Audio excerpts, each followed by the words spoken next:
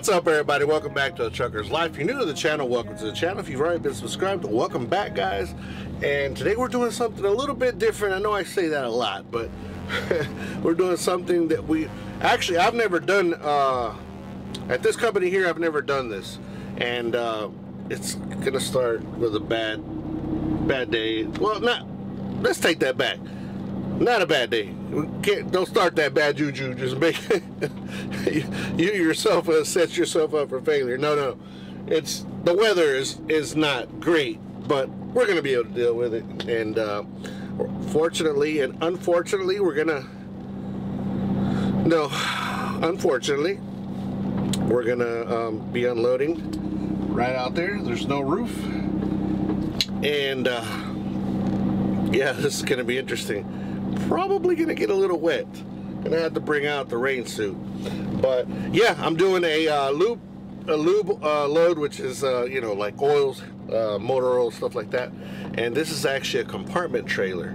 So I'm gonna get offloaded, and then I'll take you guys somewhere where I can show you guys exactly what a compartment trailer is. Some of you guys already know what they, what they are, but then some of you guys may not. Um, and just the difference is that it is exactly that. A compartment trailer is a trailer that has different sections within itself. So it's completely a tank. Each section is its own complete tank, sealed tank by itself. And of course, all together completes the trailer. But um, and it looks like a regular trailer if you look at it from from far away. It looks a lot like a fuel trailer. Um, this is the, the the shape that the fuel trailers normally have, and uh, this is but but they don't use that for this. They might. I don't know. I don't know if they use these guys. Anybody that hauls fuel are they the same trailers? They look the same to me because um, i know that the fuel trailers also have compartments. Um, some of them do. All right guys so we're gonna wait about uh, 10 15 minutes before we get out. Um, i'm already parked. Already parked. I'm ready to go. Uh, well not ready to go. I gotta go out there and hook up um, but like I said, I'm going to let the rain kind of chill out a little bit more. Looks like it's about to blow over. As you can tell over there, it's about to. Uh, looks like looks like it's it's about to blow over. So um, I'm gonna wait just a little bit.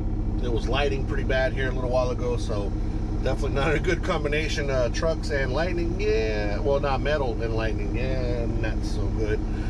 But anyways, so a little bit I want to talk to you guys about that. Um, this truck has a it has already a uh, PTO button or it's set up for the application that it's for.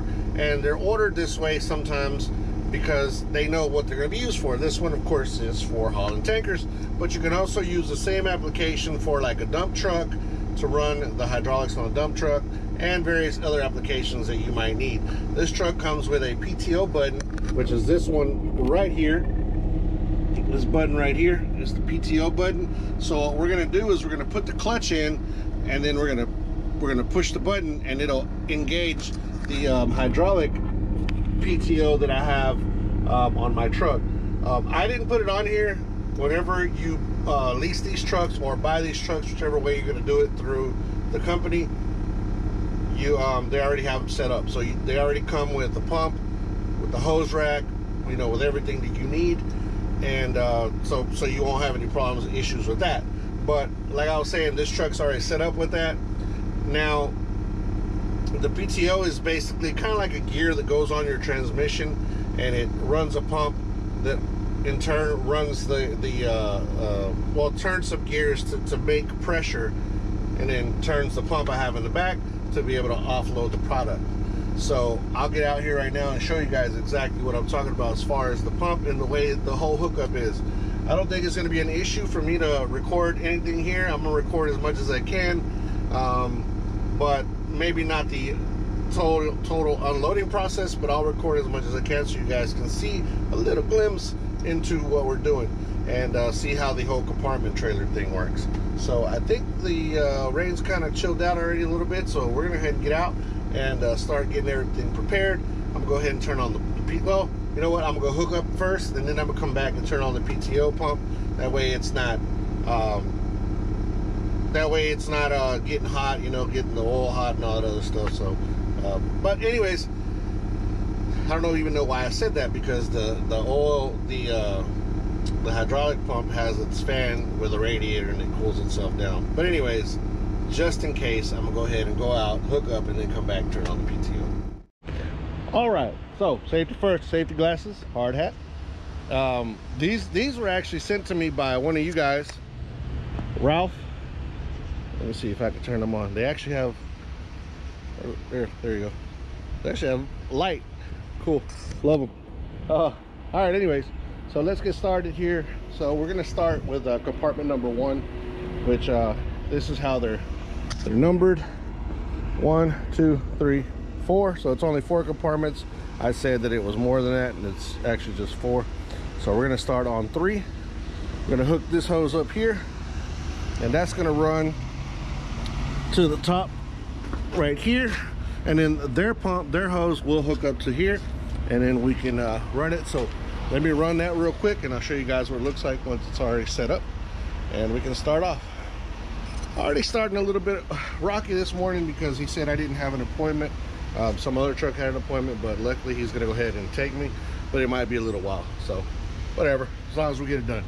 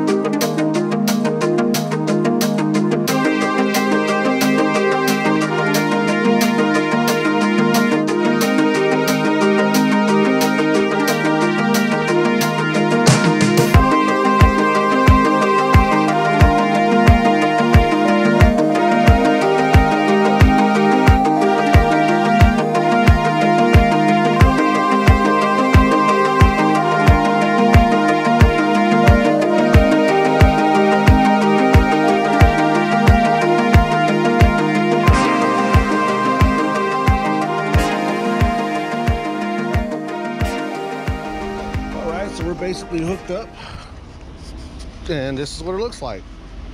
I still got to get some uh, tie straps to put around here. You got to tie those up guys. Never know if they pop off you're to make a huge mess. Then there's a contraption there set up down there. I know that bottom setup does not look that great but it works. And that's it. Hooked up and ready to roll. All right guys. All right guys. So we're hooked up and they're uh the two that they're doing one of them he's got his own pump and he's doing it on his own. The other one i'm using my pump. And these right here guys are what they call the internal valve. So what you do is these normally go out like this and you pull these in. I mean you pull these out and what it does is it opens up um, it opens up on top of the trailer um, a valve. That way it will allow it to breathe and you can unload and not suck in the trailer which is definitely not something you want to do. Well come around this side so I can show you guys exactly how this is hooked up over here. I had to improvise guys. I don't know what I do with my straps that I normally have for uh, these hoses. And uh, so this is basically the hydraulic pump right here this right here is a hydraulic pump, and there we are hooked up. So this is the inlet, that's the outlet right there. It goes to the customer. This comes from the trailer. And I had to use the zip ties, but they work. Unfortunately, I had to use those up. As expensive as they are, but it is what it is. It's all about uh, being safe and making sure we don't make a mess. But that's the hydraulic pump there, guys. And then I'll come around here and I'll show you guys this right here is the hydro pack which is basically the radiator and there's a fan right in there that keeps the oil cool and there's a line that comes from the transmission which I don't think we'll be able to get in there. Let's see if we can get in here and see. No we can't can't see it. Well you can hear it definitely but yeah basically that's that's how we hook up. Sometimes we use air to offload which is my air pump. And these trucks like i said are they set them up. So this would be the air hookup. I'd hook up here to that and into wherever on this on the trailer. This trailer doesn't seem to have a place for air. And then the in-transit heat is those right there. These two. These two right here are the in-transit heat basically for those of you that don't know some of this product like on my last load for example. Uh, it's, a, it's a good example. On my last load um, that that that particular product needed to be hot. But it was hot enough that it didn't have to be uh, maintained by the truck and it wasn't going as far. When it's a, a, long load and the product is more volatile or more more susceptible to freezing or to getting hard on you you hook up those um, radiator basically is what it is. And, it, and the trailer itself has two hookups. And then on the whole bottom of the trailer there's a tray that has that runs that radiator fluid through the bottom of the trailer. And basically your truck is uh, your truck's antifreeze is running throughout truck and trailer at that point. Um, now you can't just show up hook up your truck to your trailer and think you're going to leave. No you have to get it pumped in to be able to fill up the whole bottom of the trailer. That way you don't go down the road about a quarter of a mile and you you won't even go that far. And your truck decides that it doesn't want to run because it doesn't have any more antifreeze in it. So what we do is at the yard we have a pump an electric pump and uh, with a with a barrel of antifreeze hook it up to the truck and then fill everything up and then that way we're ready to go. But you still have to carry at least a gallon or two while you're going down the road because a few miles down the road your truck's gonna finally push out all the air and you're gonna have to top it off. So always, if you're gonna do in transit heat, always carry a couple of gallons of antifreeze with you. I do not like doing in transit heat, and I'll tell you guys why. Uh, let me get away from the truck a little bit over here. The reason I don't like doing in transit heat is mainly because some of the some of the antifreeze that's used at some of these places is not the best, I guess. And you're running that through your engine and you can see the problem with that. So i don't like running in transit heat. If i have to i will.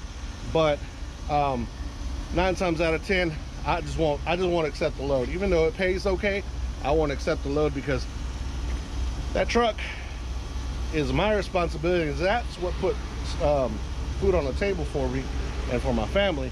And you might say well refusing the load is also doing you're, you're messing up yourself but no because in the long run my truck is very important and that's what i need to keep running.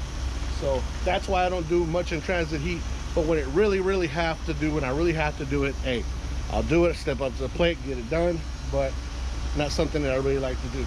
So a little bit into the life. You see all the piping here on this trailer. Now normal trailers what i call normal trailers or smooth bore which are the ones that are just one whole product throughout the whole thing, don't have all these, all this piping right, all this plumbing right here. And all these go to the individual compartments, as you can tell. So let me see if, I don't think you can tell from the outside where the actual compartments are, are uh, divided. It's just a regular weld. But, um, but like I said, normal, the, the, the, the smooth bores have either a discharge on the side or a discharge on the back. Only two ways that I've ever seen them. Um, uh, sometimes they'll have like a, a piping where you can hook it up from the middle and it has a pipe that runs through the whole back and it comes out of the back too. So you can do both. Um, those aren't ideal when you're unloading on an incline because your product you always got to think about all this stuff you got to be as level as possible because if you if you do that style that i'm telling you where you run it from the belly back to the back and you're sitting like this on an incline well what's going to happen is that you're going to leave product back here. And uh, you can't can't be leaving product. So those trailers we don't use them as much for that purpose. But it can be done regardless. And another thing, a thing that I do like about these trailers right here is that they don't slosh a lot. The whole trip, it didn't slosh almost none. Um, smooth bores, hold on. Because when you hit a stop, or when you go to a stop sign or when you have to slam on your brakes, it will come back and remind you with the force. It feels like another semi running into the back of you, running into your truck. That's what it feels like. And when you take off, of course, you got to do it. you got to you got to know how to time your gears and all that good stuff. But with these here, you don't have to do that. All of the trailers that are used for chemicals, um, most of them are smooth bore. Your milk trailers, if you got a truck that, that's that's, that's uh, hauling food grade, that's a smooth bore as well. They don't do compartments on those because you get bacteria into, into little crevices and all that stuff, and to get them cleaned is, is a nightmare. So they don't use, this type of trailer will never be used on food grade. Smooth bore will. That's what they use mostly for that. It's just one whole thing. But yeah, a little glimpse into the tanking life. And uh, finally, I get the, the, opportunity to show you guys a little bit. And uh, maybe you guys will like this and maybe start driving tankers. I love it. It's a very cool job and uh, a little challenging sometimes, challenging sometimes, but nonetheless, it's fun. Okay, we're going out of compartment one now. So we're done with uh, compartment three, now at one. Now those are the larger ones. The rear compartment is 3,000, middle is two, and uh, I think that looks like 1,500 and 3,000 in the front. So those are your different sizes of compartments as well. They're not all equal in size. And the reason he's doing this is because he doesn't have room in his tanks. So he's uh, putting it in totes, which are, uh, there's not one out here. It's basically like four of these barrels together. And that's what he's doing. He's filling those up with compartment number two. So almost done guys this stuff's pretty quick that's one of the cool things about it as well all right and that was that got that done got unloaded well just got the finish unloading so let's turn our pto off clutch in and she's good to go good to go so let's uh pull forward get everything ready to roll and uh, put her in the wind all right, guys, one last thing I like to do before I get ready to roll is to make sure that everything is completely shut, closed, cut off, or whatever you want to call it. Um, this particular trailer has this, it's like a little crash bar that goes here. You pull this up and then you lift it up, lift up the cage, and that basically does not allow you to completely open this stuff up. So those are completely shut. These are all, all going, and they're all in the same spot. I know the belly's uh, shut because you can't open this, uh, or you can't close this door with uh, with those uh, um, levers out. So I know that's shut. Everything's good there. Everything's shut back here, which I didn't touch any of that right there. And make sure that all the caps are on the on the trailer or on the truck. Both of the caps are on the truck. So we're ready to go. About to take off here in a little bit and uh, get back to the yard. And so this is uh, a compartment trailer. So those of you that have never seen a compartment trailer or know anything about them, that's exactly what this guy right here is. And uh, hopefully you guys learned a little something. If not, then uh, hopefully you were entertained a little bit. But with that being said, guys, I'm gonna go ahead and put it in the wind, uh, get back to Texas. Right now I'm in Arkansas and pick up another one. I think I have another one of these loads uh, ready for me when I get back and go make some more money. Continue on going with the week. Hopefully you guys have a wonderful week and hopefully I will see you guys here pretty soon. With that being said, guys, don't forget to be kind to one another. Help anybody needs help. Anybody contemplating suicide, 1-800-273-8255 military men and women, thank you so much for your service. See you guys on the next video. Peace. Here.